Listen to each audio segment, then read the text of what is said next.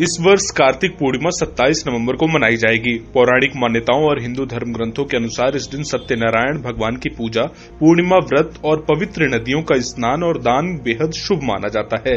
कथावाचक देवेंद्र आचार्य बताते हैं कि कार्तिक की पूर्णिमा का विशेष महत्व होता है। इस दिन स्नान स्नान पूर्णिमा भी इसे कहते हैं।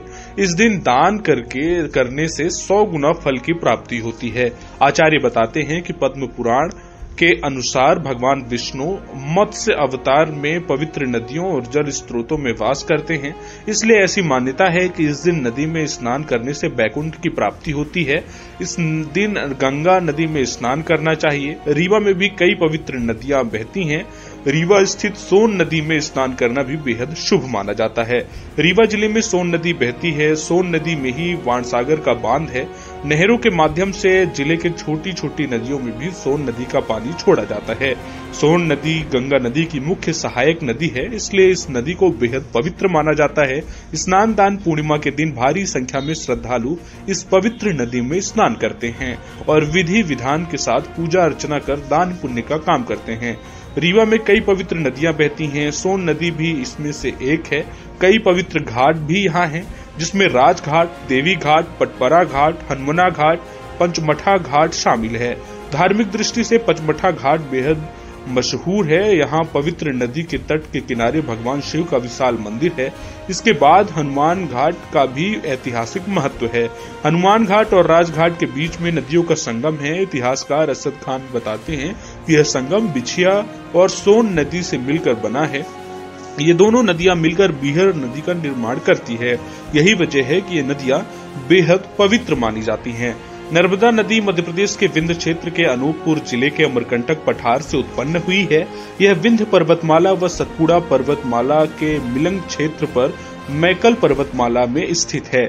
इतिहासकार असद खान बताते हैं कि नर्मदा नदी को रीवा के नाम से भी जाना जाता है। यह नदी उत्तर और दक्षिण भारत के बीच पारंपरिक सीमा के रूप में कार्य करती है। रीवा रेवा का अपभ्रंश है। रेवा नर्मदा नदी का पौराणिक नाम भी है। यही वजह है कि विंध्य के सबसे बड़े शहर का नाम रीवा पड़ा है। विंध्यांचल पर्वत श्रेणी की गोद में फैले हुए विंध्य प्रदेश के मध्य भाग में बसा हुआ रीवा विंध्य का सबसे प्राचीन शहर है।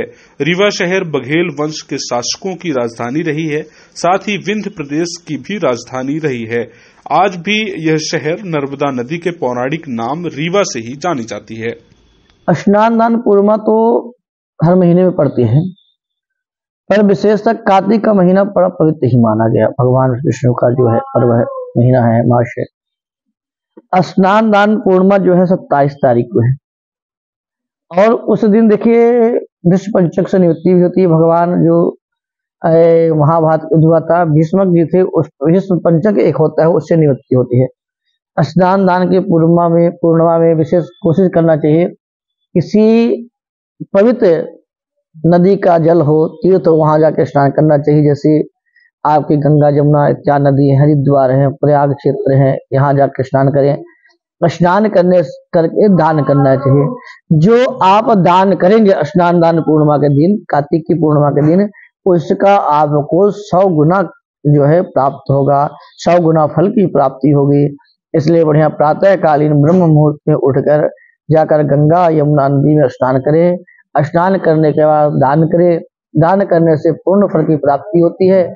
अगर आप वहाँ नहीं जा सकते हैं तो आप अपने घर में ही गंगा जल जल में डालकर स्नान कर सकते हैं। इसके बाद दान करना